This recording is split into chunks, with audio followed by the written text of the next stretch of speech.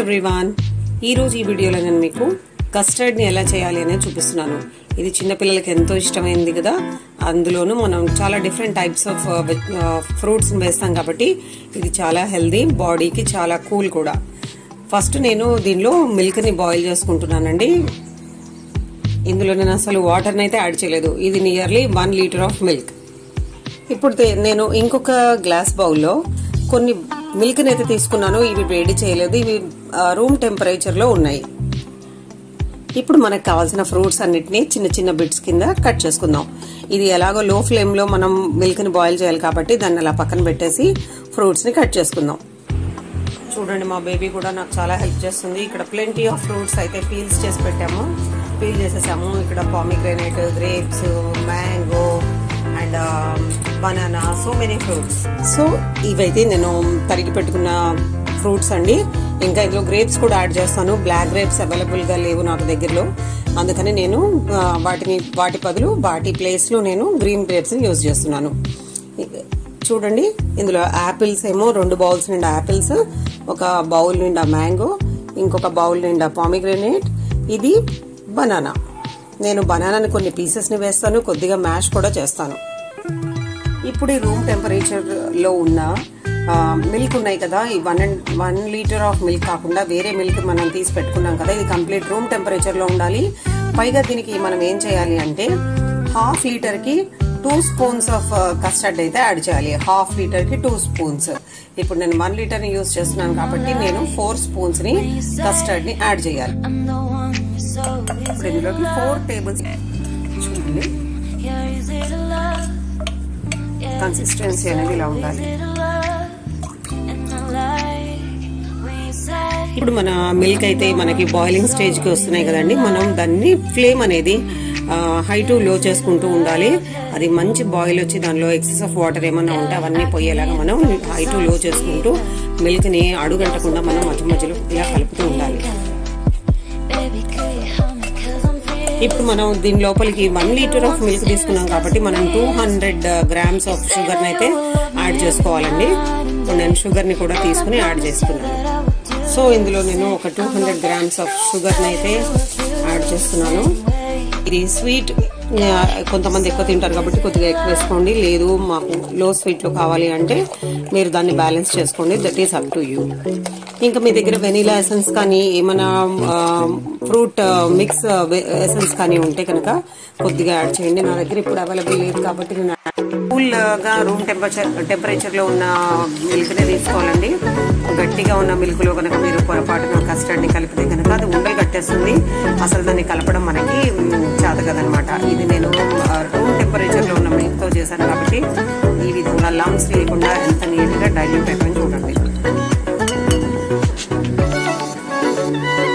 పాలు కూడా చక్కగా మరిగి షుగర్ కూడా యాడ్ చేసి పెట్టుకున్నాం కాబట్టి దీనిలో కొద్ది కొద్దిగా ఒక రెండు రెండు స్పూన్స్ ఆఫ్ కస్టర్డ్ వేసి బాగా మనం మిక్స్ చేయాలి.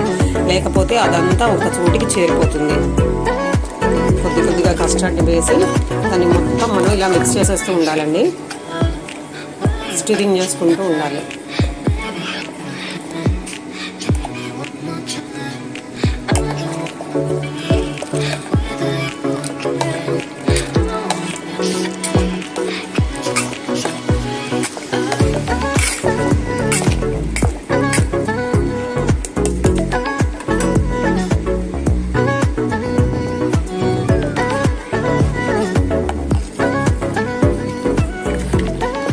కొద్దిగా లో ఫ్లేమ్లో దాన్ని మనం కుక్ చేసుకోవాలండి.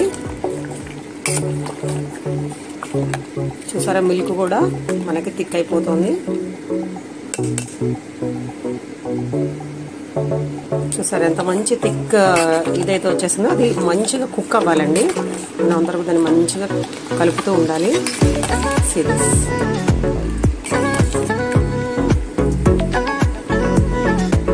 ఇప్పుడు నేను మీకు ఇంకొక టిప్ చెప్తున్నాను. మనం ఇలా కస్టర్డ్ని కలిపిన తర్వాత ఏదైతే మనం కలిపే గరిట ఉంటుందో దాని మీద ఇలా ఒక టెక్స్చర్ అయితే ఫామ్ అవుతుంది.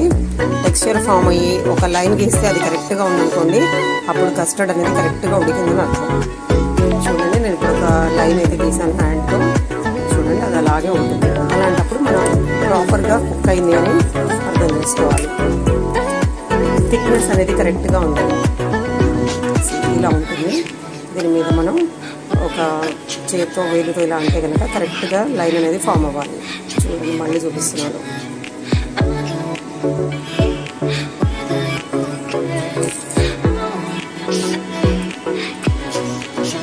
సో ఇప్పుడు మన కస్టర్డ్ పర్ఫెక్ట్గా పర్ఫెక్ట్ థిక్నెస్తో మనకు కావాల్సినట్టుగా ఉంది. ఇక దీన్ని ఎంతకంటే ఎక్కువ కుక్ చేసామంటే అది గట్టిపడిపోతుంది. సో స్టవ్ని నేను ఆఫ్ చేసేస్తున్నాను. ఇప్పుడు ఇది రూమ్ టెంపరేచర్ వచ్చేంత వరకు మనం కూల్ చేసుకోవాలి.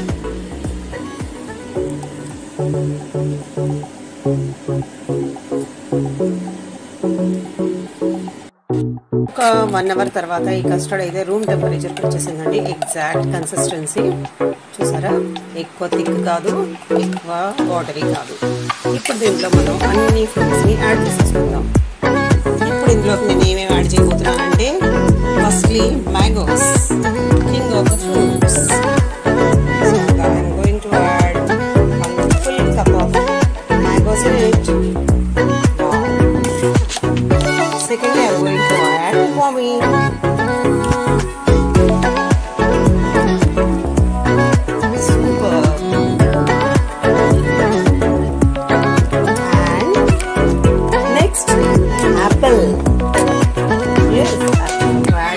Add. Two bowls full of apple.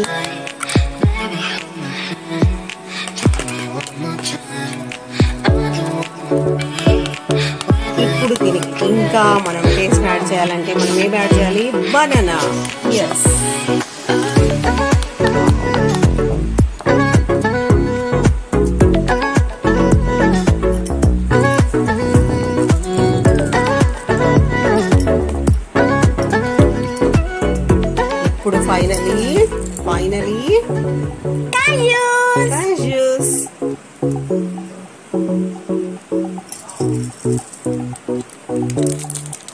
Yes దీన్ని ఇప్పుడు రిఫ్రిజిరేట్ చేద్దాం.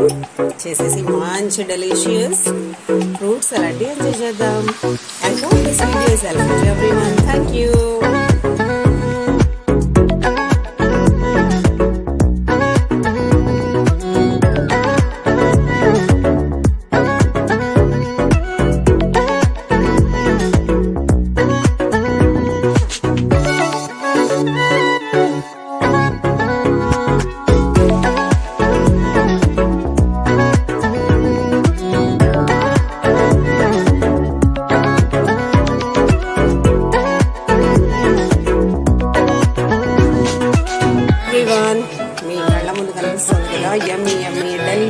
delicious బాడీకి ఎంతగానో చల్లనిచ్చే healthy healthy healthy my favourite my daughter's favourite custard